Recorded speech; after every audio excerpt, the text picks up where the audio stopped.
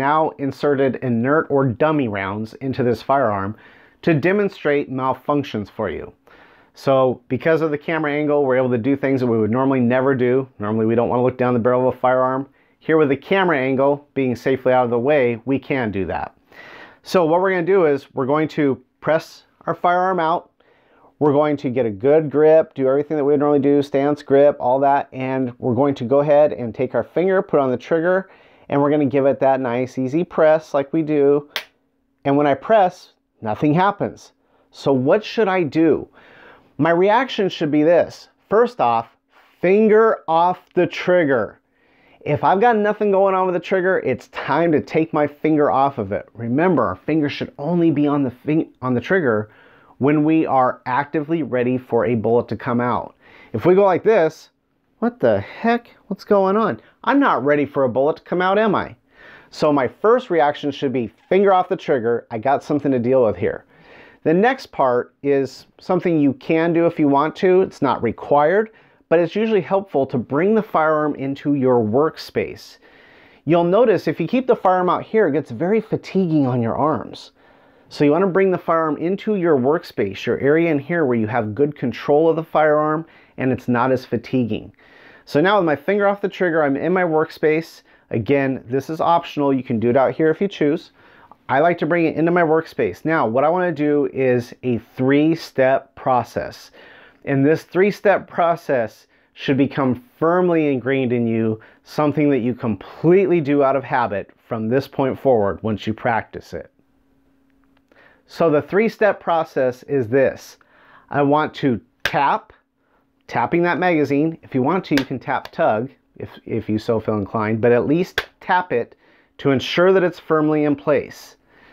The next step is to rack the slide. So I'm gonna get my good racking position and I'm going to rack the slide, getting that round out of the chamber that had an issue for whatever reason it had an issue.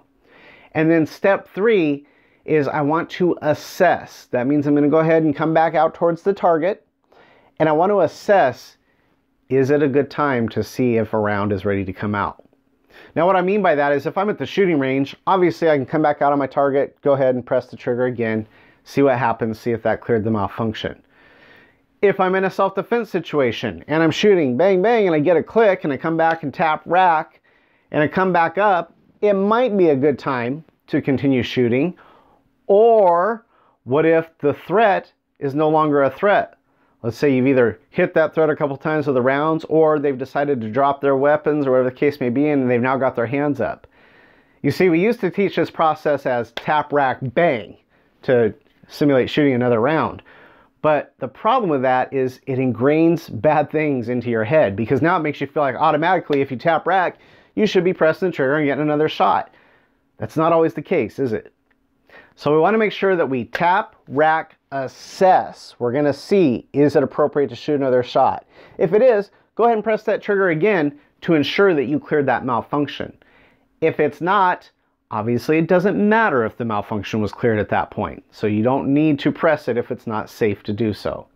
So again, the three-step process, tap, rack, assess.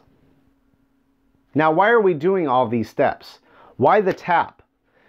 Well, it's about roughly 80% of the malfunctions that are caused like this come because the magazine was not fully seated. A person was shooting and the next round couldn't get inserted in there because the magazine wasn't fully seated. It felt like it was, it looked like it was, but it was still ready to fall out.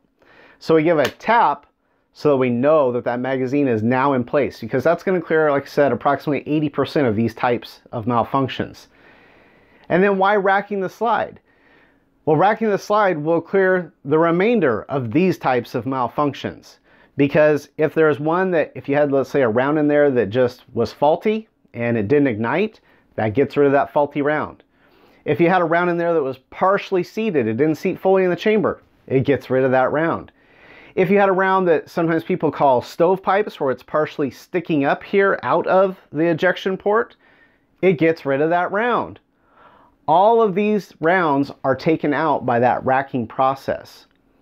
It used to be that when a, a round was stovepiped or sticking out of the ejection port, there was a different process for clearing it. People teach you to do like this sweep motion to get it out of there.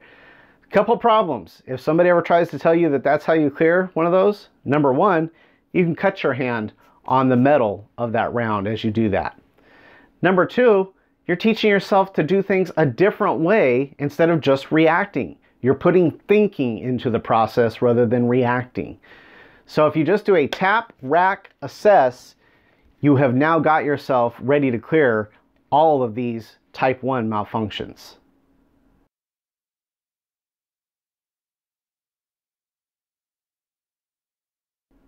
Now to set up these malfunctions with your firearm, obviously to set up a regular primary malfunction, all you have to do is load some dummy or inert rounds into your magazine, put it on in, tap tug, rack that slide, give it a press. Oh, there we go. That's not going to work. And now you can go through your steps. Tap, rack, assess.